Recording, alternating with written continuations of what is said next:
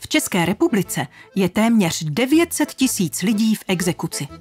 Dluhy představují zátěž nejen pro jejich rodiny, ale také pro zaměstnavatele, soudy, úřady a samotné věřitele.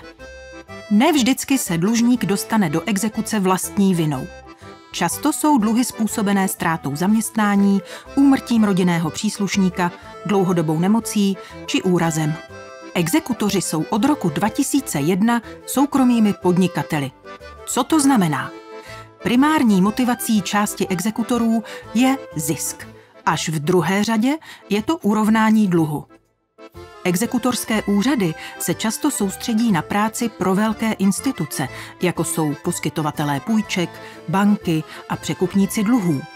Ty jim zajišťují pravidelné zakázky v podobě nových dluhů. Tento mechanismus vytváří ekonomickou závislost exekutorů na věřiteli. Dalším závažným problémem jsou nepřehledná řízení. Téměř půl milionu občanů má tři a více exekucí na jednou. A každou z nich může spravovat exekutor z jiné části republiky. Exekutoři pak zahlcují různé úřady stejnými požadavky při získávání informací o dlužnících. Pirátský poslanec Lukáš Kolářík proto předložil novelu exekučního řádu. Ta zavádí zásadu jeden dlužník rovná se jeden exekutor v místě bydliště.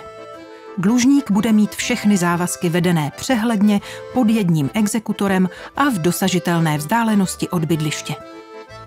Místní příslušnost exekutora zvýší šanci na vymožení pohledávky a dluhy už se nebudou násobit. Věřitelé už si nebudou exekutory vybírat. Soudy je přidělí podle abecedního pořadí. To zajistí lepší kontrolu i nezávislost exekutorů na věřitelích. A co pirátská novela přinese občanům? Sníží riziko korupce a umělého navyšování dluhů. Zpřehlední řízení pro všechny zúčastněné a sníží administrativní zátěž. Zvýší vymahatelnost dluhů a zlepší možnosti dlužníka splácet své závazky.